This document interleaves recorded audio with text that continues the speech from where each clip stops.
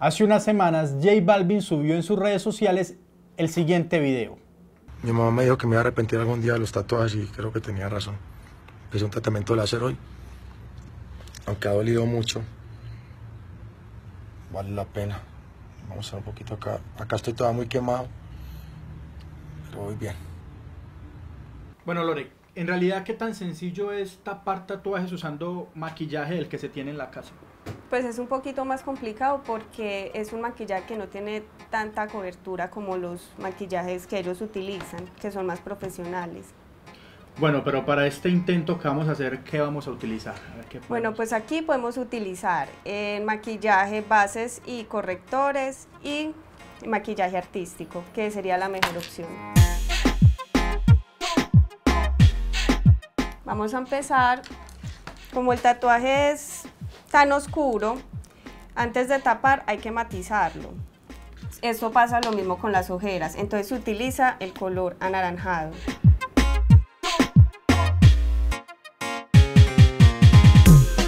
Bueno, aquí ya está matizado. Y ahora yo le voy a poner pintura artística.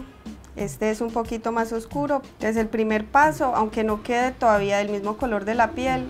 Primero lo que necesitamos es tapar el tatuaje.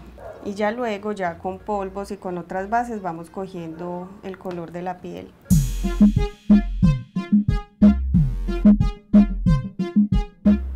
Ya va cogiendo colorcito.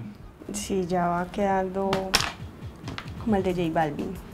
Y otra clave es difuminar bien eh, los bordes, que se pierda bastante con el color de la piel. Y ahora acá ya lo podemos sellar con polvos translúcidos o con polvo.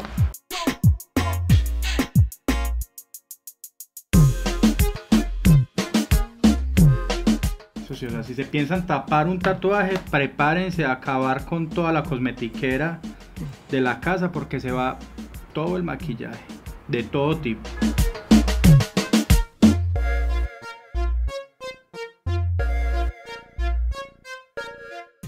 Bueno, Lore además es youtuber, ustedes pueden encontrar sus videos de maquillaje, de efectos especiales en YouTube. Lore, ¿qué, ¿qué, haces ahí? ¿Qué puede encontrar la gente en tu canal? Bueno, pero pues principalmente es Lore Creativa, o sea que es más, es un canal como más a transformar cualquier cosa en creatividad.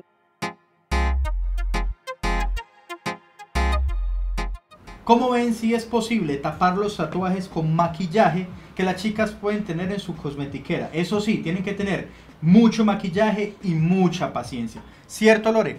Total. Listo. Lore, muchísimas gracias, gracias por haberme hecho ver mi brazo como no lo veía hace varios años. Me lo quiero tapar todo, nada más para recordar viejos tiempos y para que en mi casa me vuelvan a querer. Esto es Tiempo Fuera. Recuerden seguir a Lore Creativa.